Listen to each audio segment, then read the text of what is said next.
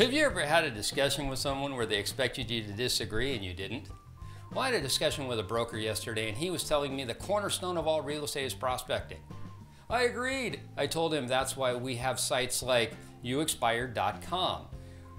Once you've made that initial contact and you've set up the appointment, to have an address specific website and a video presentation to make to the client is very powerful. Those are the tools that the clients are now looking for. That's why we provide them. If you're thinking about changing brokerages and looking at the tools that you need to be successful in the future, well, let's start a countdown. How long is it going to take you to call me? Thank you.